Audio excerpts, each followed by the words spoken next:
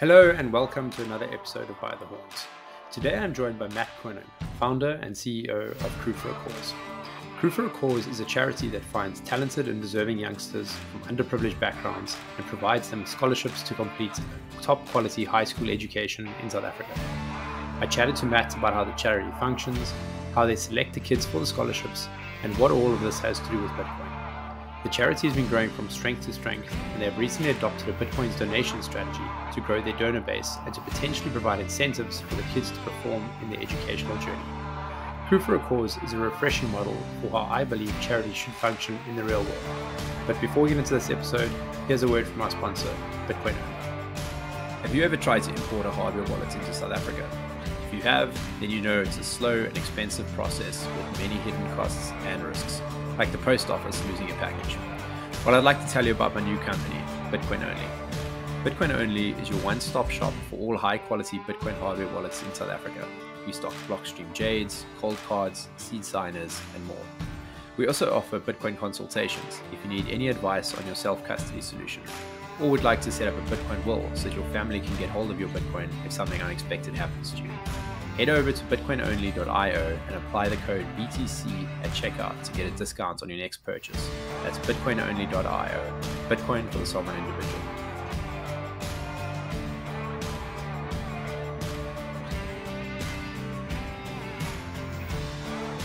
Ladies and gentlemen, welcome to another episode of By the Horns, a Bitcoin podcast about South Africa. And today I am joined by Matthew Koning. Matthew is the founder and CEO of Crew for a Cause. Crew for a Cause is a charity that finds deserving youngsters and puts them through school to get them a great education and give them a leg up in life. Matthew, welcome to the show. Oh, thanks so much, Ricky. It's an honor to be on here. Lekker, man. Good to have you. I see you yeah. dressed up for the occasion. I feel a bit underdressed. I did. Today. I did. You know, you got to look important. no, very true. Very true. So, Matt, uh, yeah, tell me, tell us before we dive into what Crew for a Cause is. Do you mind telling us mm. a bit mm. about yourself? Yeah, sure. Um, so I'll go back all the way to you know right in the beginning. I was born in Hout Bay, grew up there. My mom and dad went to Kronendal Primary. Um, had a really great upbringing. Went to Wynberg Boys then had the opportunity to go get my undergrad at um, Stellenbosch University, did entrepreneurial management there. And then, yeah, I came back. I've got a surname as Koning, but it's actually Dutch, and uh, my, my Afrikaans is not very good. So, needless to say, that my nickname was actually Queen when I was at Stellenbosch. So, yeah. Um, and then, yeah, and then it was uh, privileged enough to do my postgrad at uh, UCT. Um, and yeah, and it's really there that I kind of kicked off my uh, working career. I run uh, currently run a, a, business where we use digital rewards to drive customer behaviors.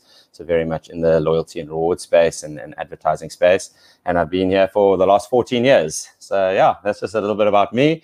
And um, yeah, and this is kind of the charity just became a real passion project and and something that myself and, and a bunch of our friends really wanted to give back to this amazing country. Yeah, so so Crew for a Cause is the charity, right? Um, yeah. And I mean, I briefly highlighted it, but but but can you, in your own words, just tell us a bit more about the charity? Yeah, sure. So I mean, we, we are going on into our eighth year now, and um, you know, it kind of, it kind of really all started where you know it started with with the education that we were given. We were privileged enough to be given a really top class education, both in high schooling and tertiary education. And, um, and it really kind of was the stepping stone to allowing us to get into the workplace and to start earning good income and to really kind of set ourselves up financially. And so, you know, once we had finished this and, and, and a bunch of us friends were, you know, were working and earning good incomes, we kind of took a step back and we said, well, you know, is it not our time to start looking at how we can give back? And, um, and, a, and a big part of that was obviously this big focus on education. We believe that education is the stepping stone to a better South Africa. And, and if we can do our little bit in it, we can really start kind of um, making change within this country. And so, um, yeah, we, we, we, really got initially 15 friends. We were all Wynberg boys. And uh, we pulled some money together and we ended up sponsoring one boy. His name was MK and um, and we kind of started sponsoring. So it was it was an amazing story. We went and met his mom. He only has a mom. He came from the township. He was one of I think seven or eight who who, who lived together in a small room, and uh, he had a lot of promise at Wynberg. So we kind of worked with the school, and uh, we allocated a certain amount of funds to to sponsor it. And that's kind of how it all started. and um, and it was a really really exciting thing. We we stuck with him, we helped him, we mentored him, we helped him get extra maths lessons, and it was a very hands-on experience. And so we look, we took a step back afterwards, and we looked at this, and we said, well, you know, this is really working, you know, and it's and it's something that we're all very passionate about. How can we now take this to the next level? And so and so really, that's where Crew for a Cause was born. It was born from from this idea of of putting um, talented kids through high school we, we thought that you know our sandbox in the, in the space of education there's obviously there's, there's six different areas and they're all very important all the way from ECD early childhood development all the way to the to high schooling and then obviously into tertiary education. Um, but obviously we couldn't solve all of the problems with the with, with the funding that we had and and then um, and the amount of of friends that we had pooled the money. So we decided to focus on high school only. And um and yeah and and we, we we looked at the model and we thought well okay let's let's see how many people we can get involved and see how many kids we, we can help out. And uh, and that's really where crew for was, was was ultimately born. All right. And and so i mean the problem you guys are addressing is is obviously that in south africa if you don't go to a, a decent quality school like it's kind of like a binary right? Like the the, the low quality schools are really really low quality. Um and the good quality schools are often kind of unaffordable. Um, yeah, and so I suppose this is really it's finding kids and getting them into those good quality schools that they otherwise wouldn't have an opportunity to get into. Um, and maybe could you, for people who don't really understand, and, and specifically foreigners, I guess, like what does the schooling landscape in South Africa look like, and why is it just such a bad thing to end up going to to a, a lower quality school? Yeah, um, you, you know, I, th- I, think you know there's lots of problems with low quality schools, but but I think a big um, issue that that South Africa faces at the moment is just lack of quality teachers. Um, and and paid teachers and, and qualified teachers and and teachers that have the the ability to teach correctly. And so I think the ability for a kid, an underprivileged kid who has a lot of talent in the education space, to go to a more privileged school allows them to get better teaching, which allows them to get better marks, which allows them to go further in, in, in the education landscape. And I think, you know, that for us is, is, is a very big concept of, of Crew for a Cause. So, you know, there are endless number of kids that, that need funding in the education space and particularly in high schooling. So, you know, a big part of what of what we do, and um, this is all a part-time kind of project that myself and, and one or two others are involved in, is, is we've ended up partnering with another organization that does a lot of our vetting on on finding talented kids. And I think it's very important. I think if we're going to make proper change in this country at the moment in the education space, is we need to be focusing on the kids that have a lot of talent. And so um, we've partnered with another organization called the Spirit Foundation, and they do a lot of our vetting of the kids and they give us a whole bunch of list of, of potential candidates that we can then choose and select. And um, it's quite an interesting process that they follow. They, they do psychometric testing with the kids when they're 12 years old. There's thousands and thousands of applicants that they whittle that down and there's a select number that they do psychometric testing with. And they they do this on maths science english and grit and grit is always the one that everyone asks, what does grit mean? And I think, but it's one of the most important is because ultimately, if you're going to be funding a kid coming from one school and putting them in a, in, in a different school and a different environment, culturally, different people, etc., etc., lots of different reasons, they need to be able to handle and they need to be able to adapt to that new environment. And I think that's, that, that's a very important skill set to have. And that's part of why we use grit as, as one of our metrics to determine the right candidates for, for us to sponsor. So yeah, you know, and and I think you know a big a big part of it is then uh, sorry I, you haven't asked the question but but I'll share it with you anyway we we currently um, uh, have partnered with seven schools in the Western Cape and uh, we and one school in Joburg uh, the Joburg school was just so that we can start positioning ourselves as a nas- as a national charity but um, the schools that we partnered with in, in the Western Cape are the likes of Wynberg Boys, Wynberg Girls, Norman Henshilwood, Claremont High, Bergvliet High. So very, very prominent high schools in, in the Western Cape. And um, and and we have great relationships with all of them. And and the, the beauty of of the process of these kids is they're all part of this community outside of their own individual schools. And that's something that we, we take them for camps in partnership with the spirit foundation so that they can start interacting with other uh, kids uh, that come through the through the organization um, and then just kind of see how the other schoolings are. You, you get an idea of what they want to do. Obviously, when you start hitting high school, you know, a big big question that people start asking is, what do you want to do afterwards? So, you know, the the, the camps are type of really nice space to to start getting the kids to you know, work with each other and figure out what it is that they want to do. So, so are you fine? What age are you guys selecting these kids um, to join the to join the program, and, and when do they become eligible? Is it from from end of high school, or where how do you guys do your filtering? Process? Yeah, so it's the beginning of high school. So from 12 years old, they would apply and then they go into the high school um, curriculum, which is obviously from the age of 13 to 18. I'm, I'm old school, yep. so it was standards for me, but I believe it's yep. grades now. So, uh, so I think it's grade grade six to um, grade tw- grade 12, I think it is. Um, and that's grade, the period. Grade, that, grade eight, grade eight to grade twelve, Bali. Grade eight to grade twelve. Thank you. So you can see how old I am. Standards. Um, so, so the kids, uh, grade grade seven, they're they're standard five. The grade seven marks that kind of really and and earlier that really apply for when they are getting selected to go into this program. Yeah, correct. So like uh, that, that's kind of when we look at them. That's that's the latest reporting that we can kind of analyze and look at and see. Okay, these kids have potential. Um, currently, we, we we're only sponsoring kids with an eighty percent average and above across the board. Um, some are more skewed to certain certain different subjects. Um, but we, we tend to try and take a range. But I think, you know, most importantly is all of these kids come from underprivileged areas that need financial support, um, but have a lot of talent um, in terms of we think that they can go far with it within the in the education space and ultimately start getting jobs. And in our long term vision, we, we MK was the first kid that that left high school, and that was a couple of years ago. We've just had a new batch that, that left, and a new batch that will be writing matrics coming, uh, writing writing uh, final exams now in November, and they will then be going on into you know into tertiary space, and hopefully one day you know all of them can start filtering in, can start being mentors for the new kids you know can have some sort of funding model with them that they can get involved. So yeah we're very excited by the future of when we start seeing the successes come through and they start getting really good jobs and, and seeing how we can filter them back into the into the charity. So you've seen a cohort obviously from from uh, the first kid come through. Uh, you've seen a cohort go from from grade eight all the way through to now he's he's tertiary. And you've seen a few cohorts now that have finished matric already and have, have gone well. Another one and then the other guys in matric now that have come through. So the project's been running kind of its entire life cycle already for a few cohorts of kids. So you've seen you've seen the outcomes.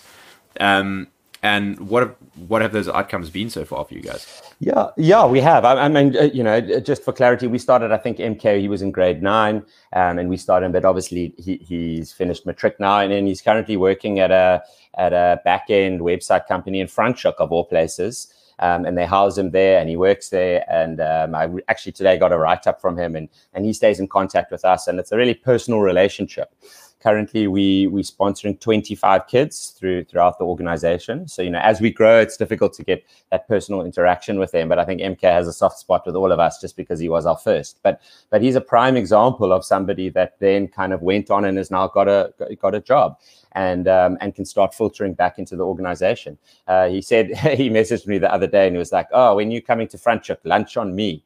So, which was really, which was which I was quite, which I was maybe That's the very first proud positive of. outcome right there. I know, and I'm going to take him up on that in Franschhoek. so uh, yeah, yeah, so.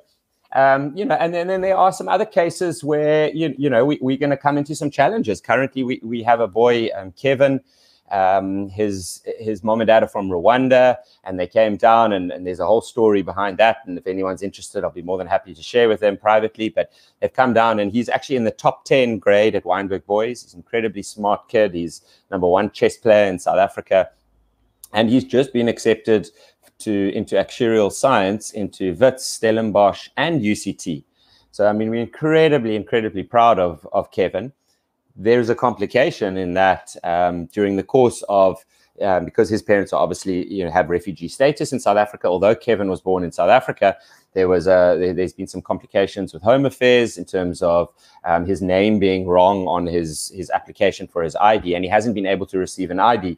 And although we've already secured him funding to go to one of those universities, so the funding's been granted and given, they won't release the funding because he doesn't have a South African ID. So you know, I think what, what I alluded to right in the beginning in terms of in terms of crew for a cause, crew for a cause, and this kind of falls in really nicely with that is a big part of our vision is to is to build a community of people in South Africa. I think there, there isn't there's so many South Africans that that want to do good and particularly in the education space but don't necessarily have a platform a safe platform a transparent platform or know where to do it and i think one of our main goals at crew for a cause is to build this community of people that have a safe space to contribute financially to, to an organization that is putting the money in the right places to the right kids, but also be a part of a community and feel a part of something.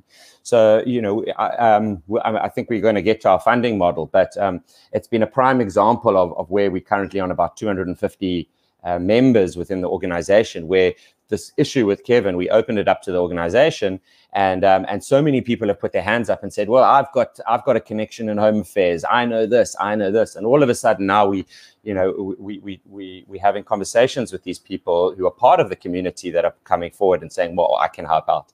And it's incredibly powerful, and people want to feel a part of something, not just give their money and not know where it goes. And so it's a big driving force behind us, you know, within the organization is to build this number, this this community of people. You know, currently you can sign up at the moment for as little as 50 rand a month. You would do it through the website. Very, very simple and very easy. You click donate, it's a monthly, put your credit card details in. We've also got a debit order system, and you can donate, you know, like I said, as little as 50 Rand a month.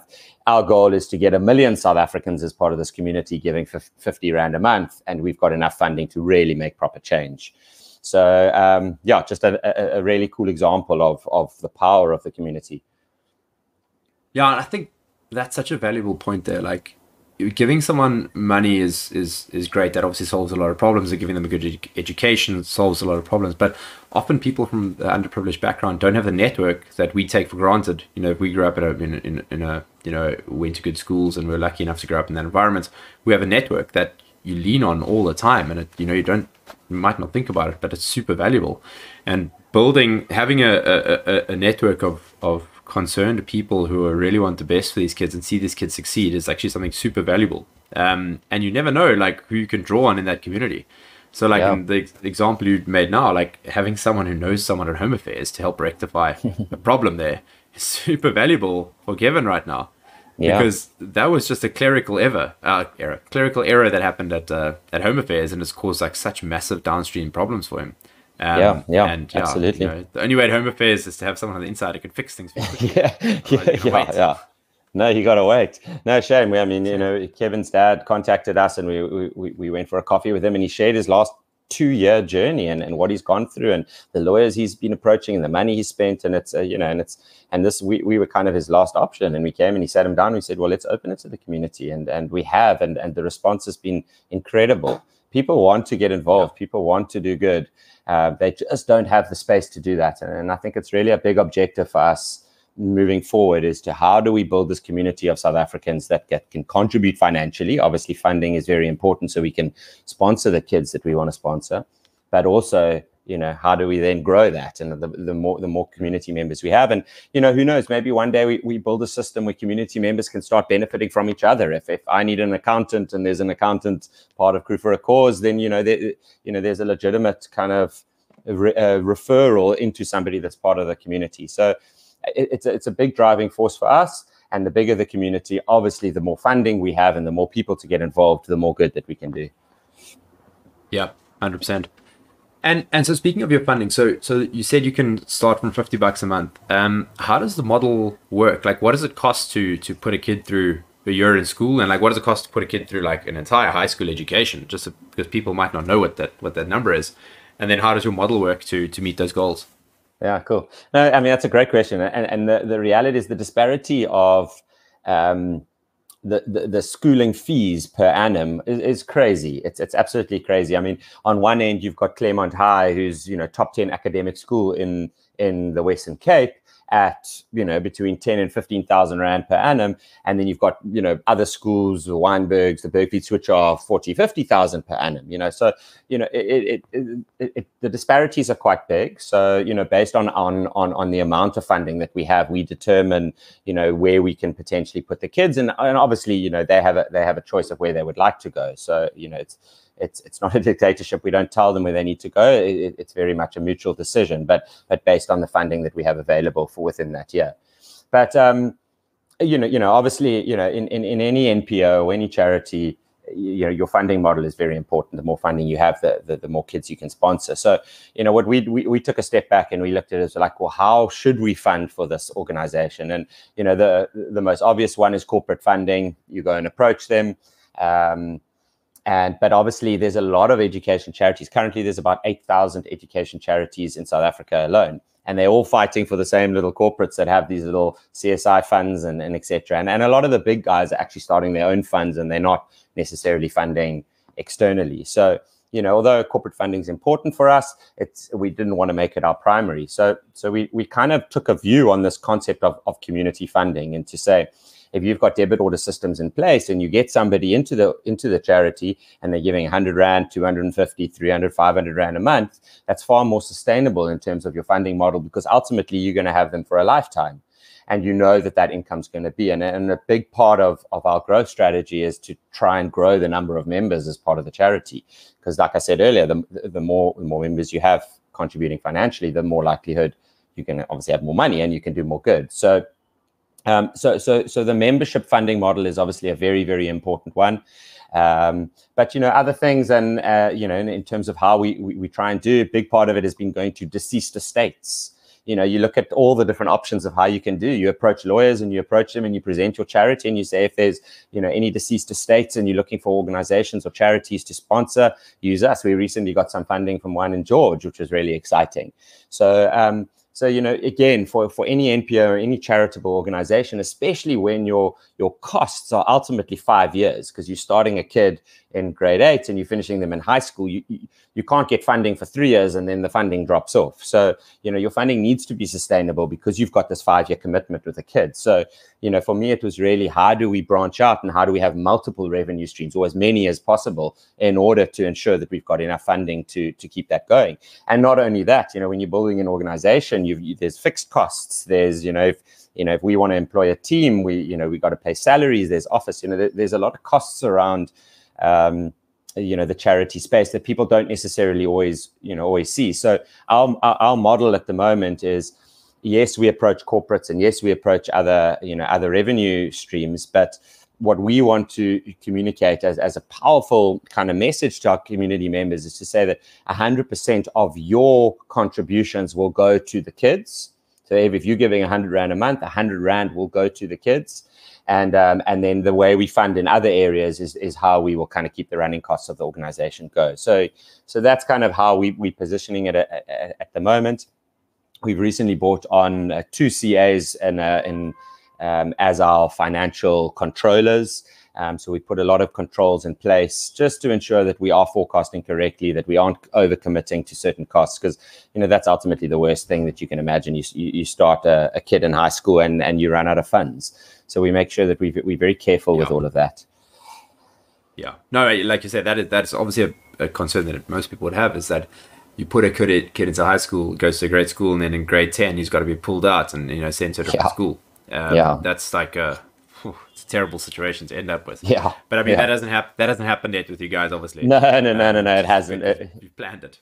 yeah, no, no, it definitely hasn't. We, we've also, you know, another nice thing about the community members is obviously, you know, in the tax year, we we've got our Section 18A um, or our PBO number, which is took me about three years and three different law firms to get. Obviously, SARS issues it, and it's not easy to to to get but we we've gone down that road which makes us very legit so you know you're not as a, as a charity you're not going to get even be considered in in the corporate space if you don't have that certificate but the same on an individual level if you're contributing financially we'll give you a certificate within the tax season when you need it and you submit that uh, you know you know when you're doing your your, your tax and there's obviously you know financial benefits and tax savings that you get from all of that. So, you know, we really encourage and we try to create and build the build the charity like a business so that people want to get involved because there's obviously some benefits for them financially and, and obviously from a tax perspective.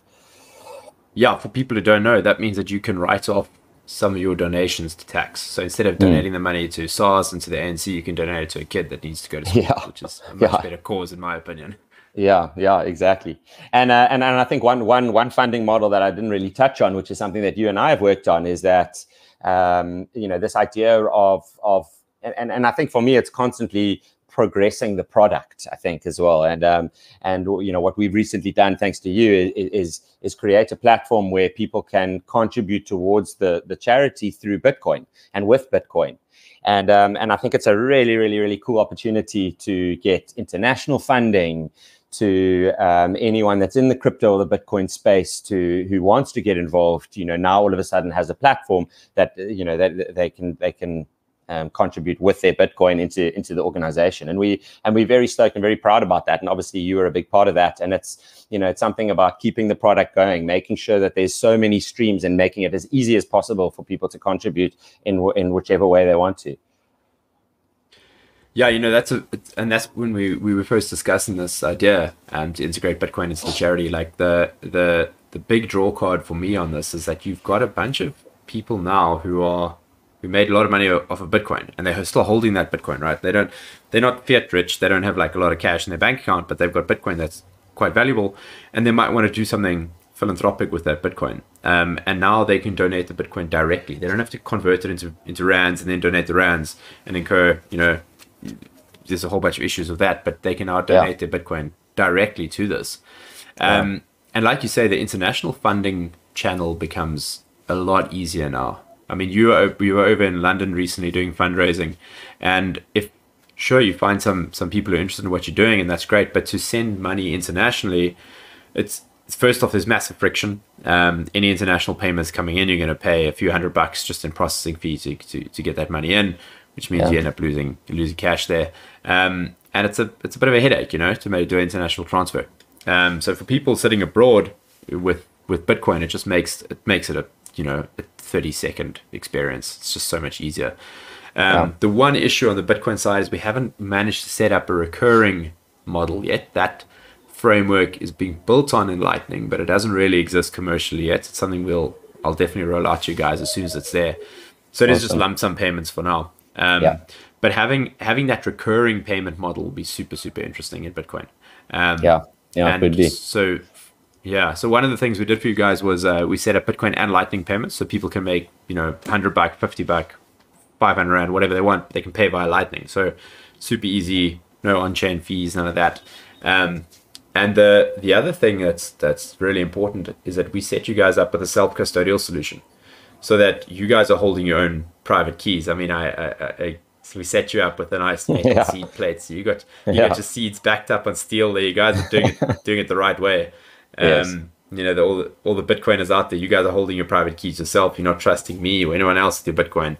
Um, and all the donations go directly to the to the organization, which is mm. which is great. Mm. Um, you guys hold your own Bitcoin. Yeah, and yeah, so we're very proud of that. Yeah, yeah, yeah. I mean, those kids then their their their money is is safe in the in the respect that's not being held by an exchange because these things go bankrupt all the time.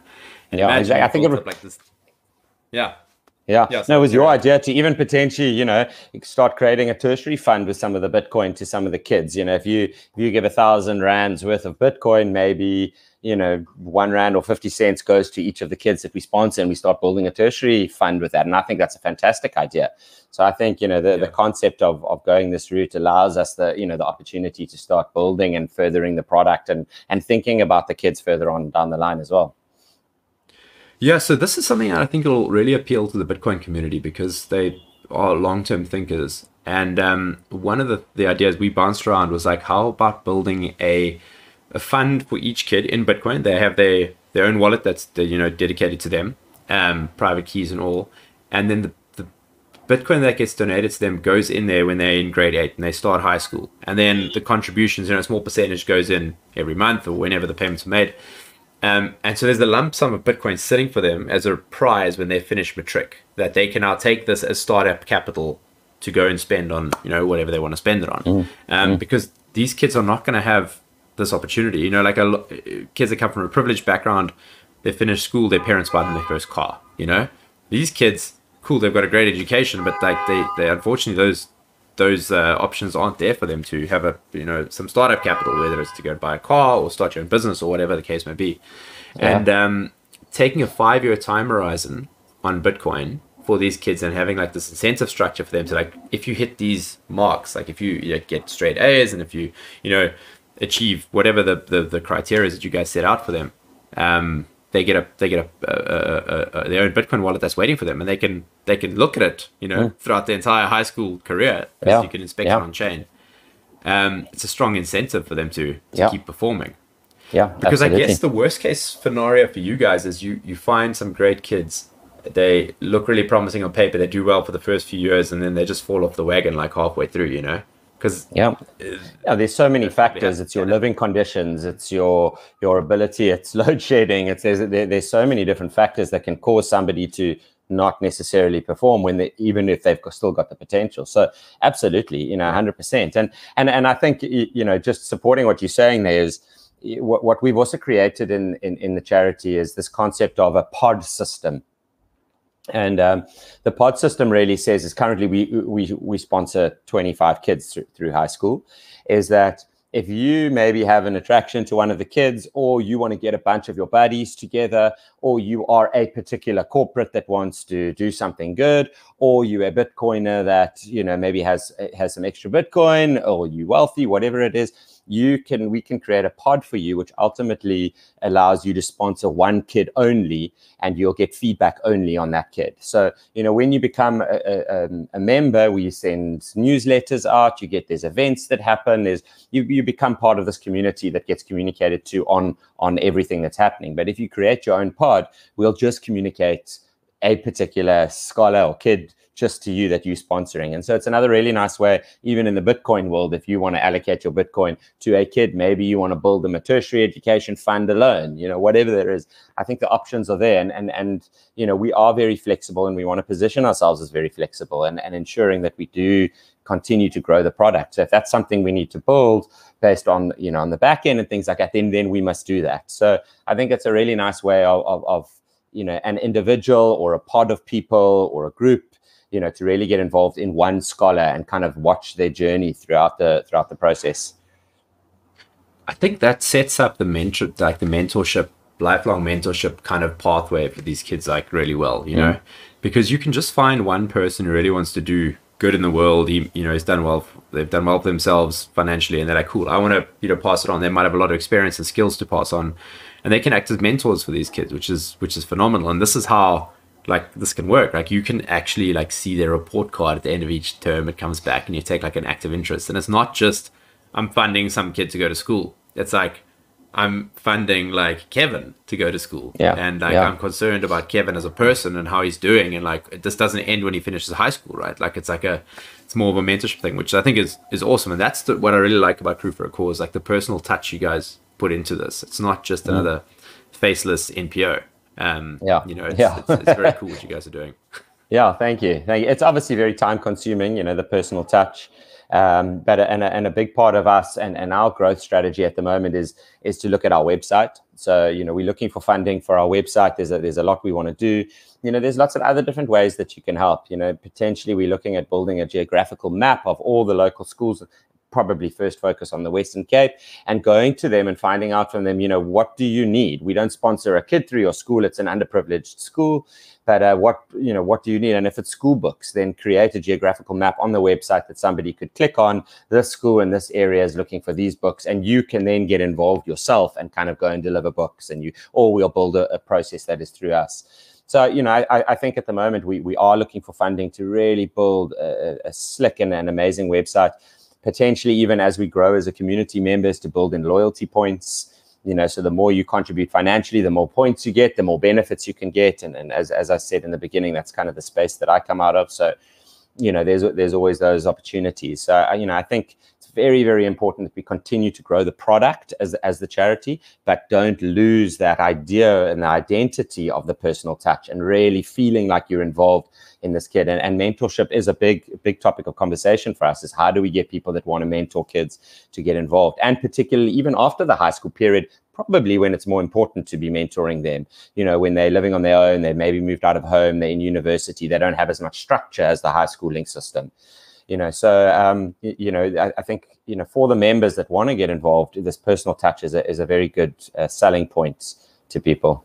Yeah, and and the other thing I want to chat about is just the community you guys have built of people around this charity. Like, there's obviously you guys have events um, where everyone gets together, and it's like I've I've been involved in many organizations in my life and, and I've seen many kind of charities in my life, but this is quite something special that you guys have managed to build. Like it really is crew for a cause. Like it's a it's a tribe of people that are that are emerging, which is very cool. And like how have you guys cultivated that and built that that community spirit? Yeah, I, I, think you touched on events. I think events are a very important way of doing that, and and just constantly communicating. I think, as you know, and you've been to to the first two, we, have started this concept of uh, monthly member meetings, and uh, we're choosing every first Tuesday of the of the month. We might change that to a Wednesday when people are not so hungover still from the weekend, but. Um, but you know, and I think I think the the aim of them is just to share the fact that there's a lot that's happening behind the scenes that people don't necessarily see. So, you know, because we want to be a charity that's very transparent, we want to constantly share. So, once a month, come to a meeting, we'll share what's going on behind the scenes. And then a part of that is we asking community members to to one, we we choose a business topic and somebody chooses on a business topic. Last month we had this concept and the and the, the, the concept of time in the workplace and in life. And it was you were there, it was a really, really brilliant speech and and then and then the second one is something more fun. So maybe somebody's done a really cool adventure.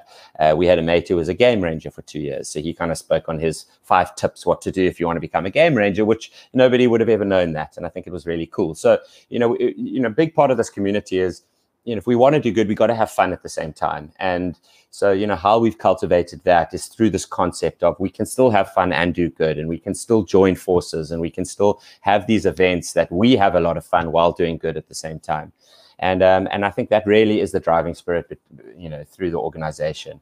You know, people want to be a part of something, but they also want to they want to have fun. You know, the world's a very serious yeah. place at the moment, and I, I think it is important yeah. that we we have this concept of of fun coming through through the organization and and the and the and the events have been amazing you know we do an auction we do um, uh, quiz nights we do there's a load a bunch of different um, events that we like to do and uh, and then people start mingling amongst different community members and you know kind of there's growth there as well. It's really our big strategy on how we we try and grow new members. Obviously it's very time consuming and we need people to get involved and we're looking to grow significantly at the moment. But um, you know i think uh, you know once you've come to an event you can really start to see the benefit of what we do and the personal touch. And you can see that people are really yeah. doing this because they want to do it and they're passionate about it.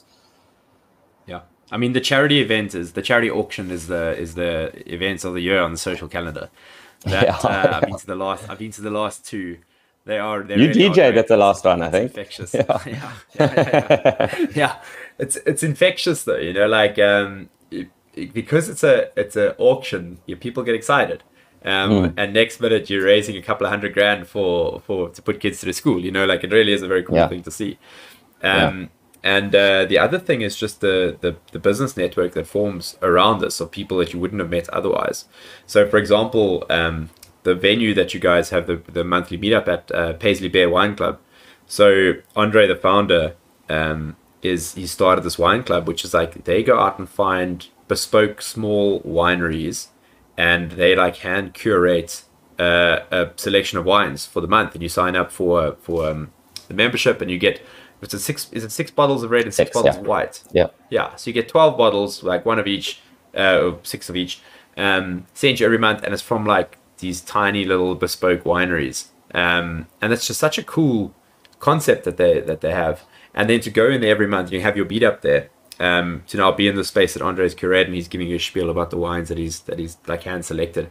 Um, incidentally, that he started out of bootlegging wine during uh, allegedly bootlegging wine during lockdown, but like he's got a business out of it now. Like it's it's it's very cool what they've done there, and that's yeah. just you know it's just one of the one of the the things that are happening. So yeah, it's very very cool um, to see what you guys are doing, and I think adding the Bitcoin layer on top is you you guys might be surprised by what you see coming out of the Bitcoin community.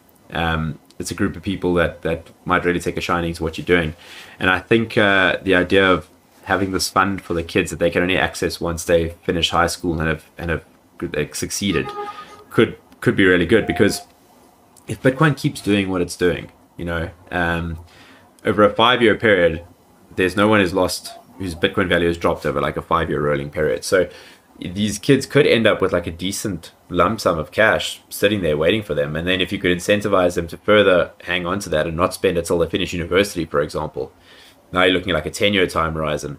Like, yeah. this could really be like a big deal for anyone. Yeah. Um, Yeah. So yeah, it's a it, it, it's very cool. Yeah. No, so, we're very excited um, by it. yeah. Yeah, yeah, and I'm yeah, I'm, I'm glad I could be a part of that, man. Like it's a it's, Hmm. it's my contribution is it's uh I'm glad I can help. Yeah. No no no and i, I yeah. think it's a big part of the success of the organization. So that is that is that you know without the community this doesn't exist. And so it's not about me it's not about anyone else in the charity. It's about the, the full community of people that that are, are getting involved and that are putting their hands up and are saying you know what? I want to do something good. This is an organization that i want to be a part of. So you know the success of, of where we're going and hopefully we we- you know we can continue that it's it's not up to an individual it's it's up to it's up to the community and that's very exciting Yeah. So tell me, where can people find out more about the charity? If people want to find your websites, uh, social media, how can they track you down? Yeah, cool. So we, you know, and, and I think it's worthwhile just mentioning partners, you know, because, you know, we, I out myself and I run a business and, and one other Matt is also Matt. Uh, he also runs a business, so it's very part-time. What, what I've tried to do is I've tried to look at all the departments within an organization and try and outsource those. So uh, we've currently outsourced our social media. So we're on Instagram at Crew for a Cause. Um, and uh, organization, the, the ad agency Dentsu, they do all of our some of our social media stuff. So pro bono, so it's really really exciting that they've kind of come on board. Uh, we're looking at one or two other uh, organizations who are going to hopefully help us build the website. But I think the, the web the web address is is www.crewforacause.co.za. It's a F O R, not a four, and um, and you can go then and and I think Classy. it's yeah.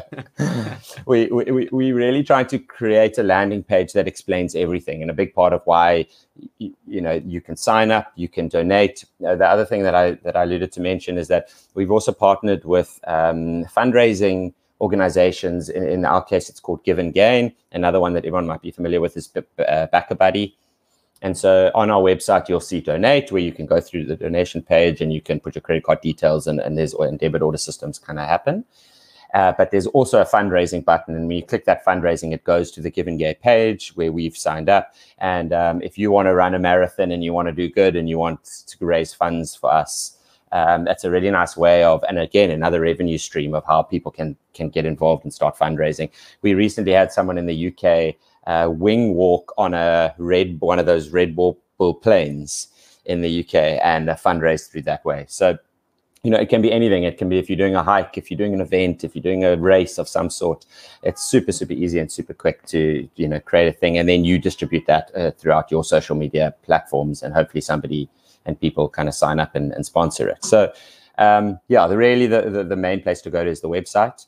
Um, also check out our social media. We're getting there. We're posting lots of things. We post uh, updates on the monthly member meetings and all the different events and, and some of the kids we, we we tend you know there's a fine line of, of sharing too much about the scholars on on, on our social media um, so you know we just manage that um, as carefully as we can. Obviously we need consent and things like that. So a, a, lot of the content that you'll see is about the community and what we're trying to do. Um, and then every now and again we, we we we post something on the kids and the success of them. So yeah social media uh, we do have a facebook page. Uh, we do also have linkedin so you can find us on linkedin. Uh, but I would definitely say the website and Instagram are the two best ways. Awesome. I'll put all those links in the description of the video below, um, as well as the Bitcoin donation page. I'll put the uh, BTC Pay Server link in there.